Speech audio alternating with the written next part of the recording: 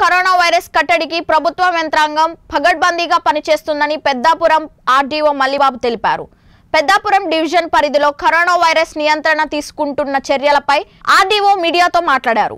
ప్రతి నియోజకవర్గంలో అనాథులు బిచ్చగాళ్ళు నిరాశ్రయులకు వసతి సదుపాయాలు ఏర్పాటు చేసినట్లు తెలిపారు. పెద్దాపురం డివిజన్ పరిధిలో వివిధ ఫ్యాక్టరీ పరిధిలో పనిచేస్తున్న వారికి ఇతర ప్రాంతాల నుండి వలస వచ్చి ఇక్కడే చిక్కుకున్న వారిని గుర్తించి ఆరోగ్య పరీక్షల అనంతరం వసతి కల్పించడంతో పాటు పద్నాలుగు రోజుల పాటు హౌస్ ఐసోలేషన్లో ఉంచనున్నట్లు తెలిపారు. డివిజన్ పరిధిలో ముఖ్యమైన చోట్ల ప్రత్యేక వసతి గృహాలతో పాటు ఐసోలేషన్ వార్డులను ఏర్పాటు చేసినట్లు తెలిపారు. పెద్దాపురం ఆర్డీఓ కార్యాలయంలో ఇరవై నాలుగు గంటల పాటు పనిచేసే కంట్రోల్ రూమ్ ఏర్పాటు చేసినట్లు తెలిపారు. కరోనా వైరస్ నియంత్రణ ప్రభుత్వ యంత్రాంగం చేపడుతున్న చర్యలు తెలియజేయడంతో పాటు ప్రజలు క్షేత్రస్థాయిలో ఎదుర్కొంటున్న సమస్యలపై దృష్టి పెట్టి అన్ని శాఖలను అప్రమత్తం చేస్తామన్నారు.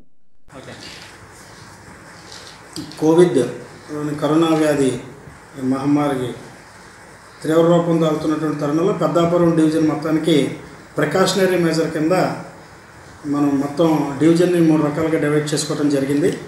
అందులో ముందు ఫెసిలిటేషన్ సెంటర్స్ అని ప్రతి మండలంలోనూ రెండు రెండు ఏర్పాటు చేసాం అందులో ఒక దాంట్లో బెగ్గర్స్ ఎవరైనా ఉంటే ఆ సెంటర్కి వచ్చి ఆ ఎండిఓ దగ్గరికి వచ్చి ఎంఆర్ఓ దగ్గరికి కానీ బెగ్గర్స్ షెల్టర్ పొందొచ్చు. రెండోది మైగ్రెంట్స్. అంటే ఏదైనా అక్కడ కంపెనీల్లోనూ అట్లోనూ పనిచేస్తున్న లేకపోతే అగ్రికల్చర్ పని నిమిత్తం వచ్చినటువంటి ఒరిస్సా వెస్ట్ బెంగాల్ కార్మికులు కానీ ఫ్యాక్టరీలు పనిచేస్తున్నప్పుడు ఫ్యాక్టరీ ఫ్యాక్టరీ లాక్డౌన్ చేయటం వలన ఉపాధి కోల్పోయినటువంటి కార్మికులు కానీ ఇమీడియట్గా అక్కడికి వస్తే వారికి భోజనం షెల్టర్ సదుపాయాలు క్రియేట్ చేయడం జరిగింది. ఇప్పటికే పెద్దాపురంలో ఒరిస్సా నుండి వచ్చిన పదహారు మంది ఇప్పుడే ఉత్తరప్రదేశ్ సంబంధించినటువంటి ఒక అరవై మందిని కూడా మరిడమ్మ దేవస్థానంలో పెట్టడం జరిగింది. రెండో స్టేజ్లో వచ్చేటప్పటికి క్వారంటైన్ సెంటర్స్ అంటే అక్రమంగా నిబంధనలు ఉల్లంఘించి రోడ్ల మీద ఏదో ఊరు నుండి ఏదో ఊరు వెళ్ళిపోతూ మన జిల్లా నుంచి వెళ్ళిపోతున్న వాళ్ళందరినీ కూడా చెక్ పోస్టుల దగ్గర పోలీసులు తీసుకుని వాళ్ళందరినీ కూడా క్వారంటైన్ సెంటర్లకు తరలి తరలిస్తారు. వీరు పద్నాలుగు రోజుల పాటు ఖచ్చితంగా గదికి ఒకరి చొప్పున ఇతరులకు సోషల్ డిస్టెన్స్ మెయింటైన్ చేస్తూ ఉండాలి. దీని నిమిత్తం మేము దాదాపు ఇప్పటిదాకా మేము మూడు వేల నాలుగు వందల బెడ్స్ ఉన్నటువంటి function halls private lodges social welfare hostels అన్నింటినీ ఐడెంటిఫై చేసి ఎక్కడైతే డ్రింకింగ్ వాటర్ టాయిలెట్స్ ఫెసిలిటీస్ ఉన్నాయో అవన్నీ ఐడెంటిఫై చేసి పెట్టడం జరిగింది.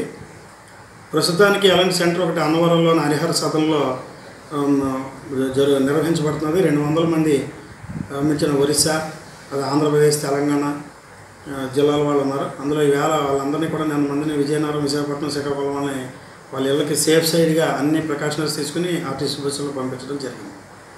ఇక మూడో దేశకు వచ్చేటప్పటికి అటాక్ అయిన వాళ్ళు ఎవరైనా ఉంటే ఇంతవరకు అటువంటి దురదృష్టకర సంఘటన మనకి జరగలేదు కాబట్టి సంతోషం.